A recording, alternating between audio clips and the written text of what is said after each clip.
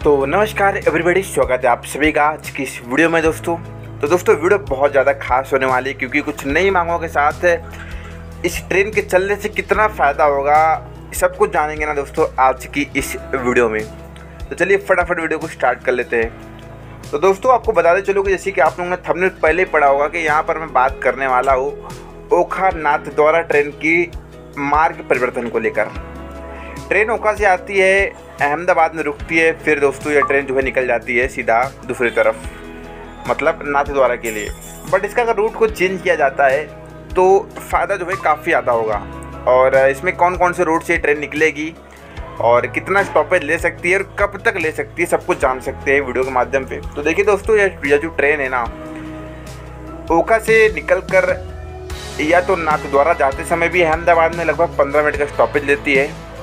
या तो नाथद्वारा से ओखा की तरफ़ जाते समय भी पंद्रह मिनट का स्टॉपेज लेती है अहमदाबाद। में अब जो अगर शॉर्टेस्ट रूट की बात करें तो भारतीय रेलवे अक्सर इस ट्रेनों को लेकर शॉर्टेस्ट रूट की तलाश करता है।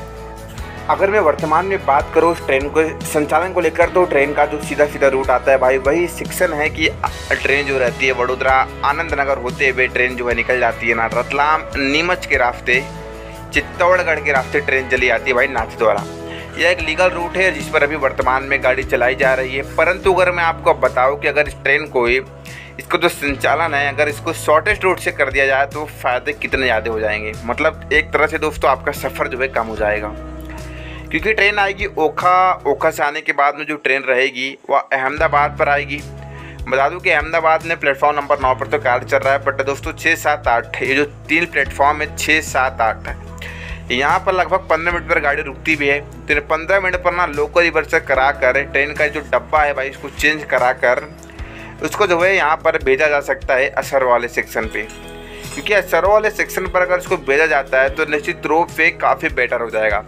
अब बता दो चलो कि आ, अभी आपको जो न्यूज़ निकल कर आ रही है सरवा से लेकर फ्रेंड्स हिम्मत नगर के सेक्शन पर सर्वे कार्य की शुरुआत हो रही है।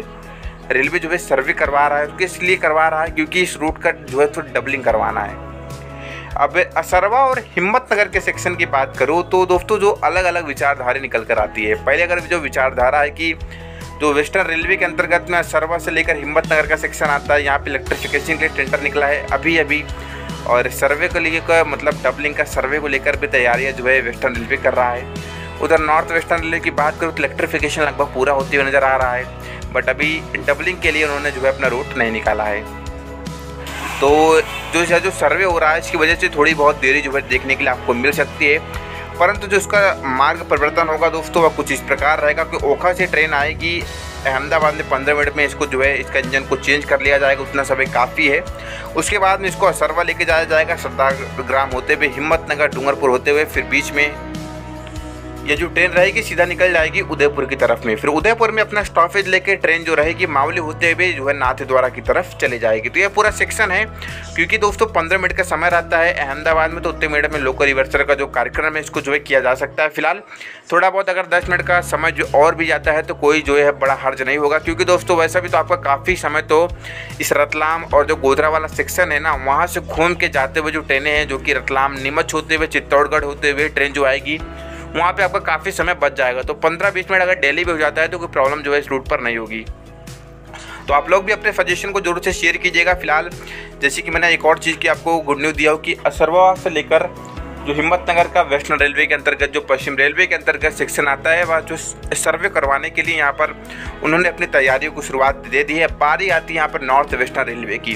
क्योंकि दोस्तों, दोनों की सहमति से जब रोड पर यहाँ पर डबलिंग कार्य करवाया जाएगा तो रोड पर आवागमन ना और भी ज़्यादा तेज़ हो जाएगा। फ़िलहाल, आप लोगों के क्या सजेशन है इस रूट को लेकर? आप लोगों के क्या सजेशन है इस ट्रेन को लेकर? और आप लोग फटाफट जो है कमेंट कीजिएगा, क्योंकि अगर मार्ग परिवर्तन किया जाता है तो निश्चित रूप से कुछ यात्री बाहर में परिवर्तन जो है आपको देखने के लिए मिल सकता है। बट एक जो बहुत बड़ी संख्या रहेगी लोगों की आवागमन की वह इस रूट से जो है तय होने लगेगा। फ़िलहाल आप लोग अपने माध्यम से कमेंट करके ज़रूर से बताइएगा। वीडियो के लिए धन्यवाद। मिलते हैं नई वीडियो के साथ में। लगातार इंटरेस्टिंग टॉपिक के साथ में। तब तक के लिए जय हिंद। Bye everybody